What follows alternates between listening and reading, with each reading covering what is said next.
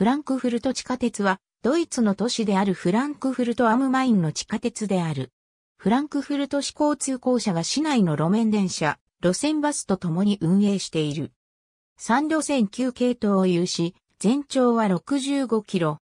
期間は 1435mm、使用電力は直流 600V で河川終電式である。その正式名称と過去に地下のみを走行する路線も存在したことから地下鉄に一応分類される。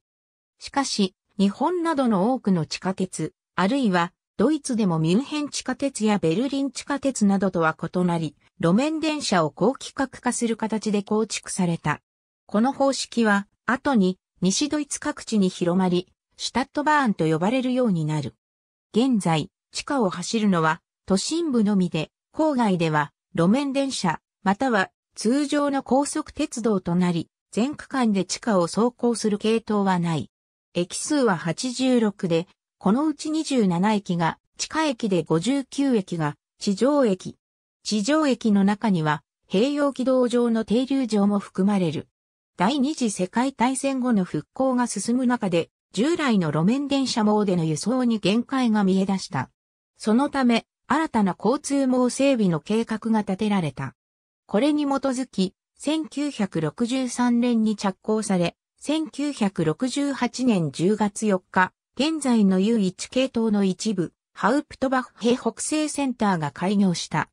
従来の路面電車及びそれに乗り入れる郊外電車の都心部路線を地下線に切り替えたものである。その後も建設、延伸が進められている。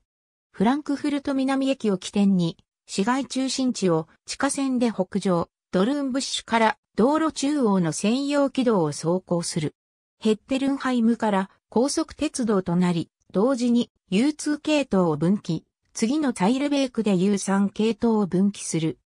U1 系統は終点のギンハイムまでフランクフルト市内だが U2、U3 系統は田園地帯を走行し他の自治体に入る。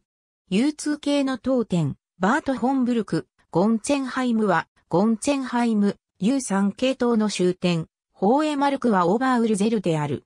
なお、U3 系統は、ドイツ鉄道と接続する、オーバーウルゼル駅から、再び道路中央の専用軌道となり、末帯区間には単線部分も存在する。なお、2010年に U3 系統のニーダーウルゼルと U2 系統のカールバッハを結ぶ新線が開業した。これに伴い、新たに U3 系統から分岐する形で U8 系統が、また U1 系統のギンハイムからこの新線を経由して U2 系統のニーダーエーシュバッハを結ぶ U9 系統が新設された。車庫はヘッテルンハイムに工場併設の大規模なものがあるほか、ボマースハイムに小規模なものがある。U4 系統は市街西部のボッケンハイマーバルテを起点に、フランクフルト中央駅前、コンスターブラーバッヘを経由し、市内東部のゼックバッハーラント通りに至る。その先で地上に出てシェフレ通りで U7 系統に合流、エンクハイムに至る。長らく、1980年に開業したゼックバッハーラント通り止まりで全線地下を走る唯一の系統だったが、2008年に延長された。U5 系統は U4 系統とフランクフルト中央駅、コンスターブラーバッヘを共用する。コンスターブラーバッヘで分岐後は路面電車となり、市内北東部のプロインゲスハイムに至る。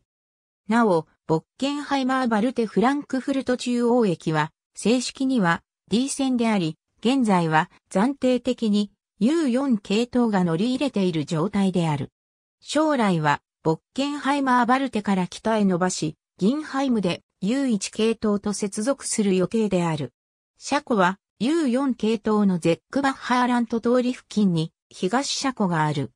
また、U5 系統のエッケンハイマーラント通り付近にも車庫が存在し、こちらは U1 から U3 系統への連絡線を有する。U6、U7 系統は市の西側、それぞれヘール通りとハウゼンを起点とする。両系統が合流するインドストリーホーフまでは、道路中央の専用軌道を走行。その先は地下鉄となり、中心市街を横断する。市街東部の動物園で再度分岐し、U6 線は次のフランクフルト東駅で終点となる。一方、U7 系統はヨハンナ・テッシュ広場から再び地上の専用軌道もしくはセンターリザベーションとなり、市内東部のエンクハイムを終点とする。なお、途中、ハウプトバッヘ・コンスターブラーバッヘでは、ドイツ鉄道の通勤電車と一体構造の複々線となっており、特にコンスターブラーバッヘ駅は方向別ホームとなっている。車庫は戦術の東車庫のほか、ヘール通りの近くに、これら地下鉄の中央工場を備える。なお、蒸気以外に非営業の回送線が存在し、地下鉄同士、あるいは路面電車と接続している。路面電車前とした形態が特徴だが、PTB 型を除き、ステップレスで2車体連接、2650mm の幅広な車体が特徴である。なお、工場入場時は、いずれの車種も路面電車の線路を自力改装することがある。ありがとうございます。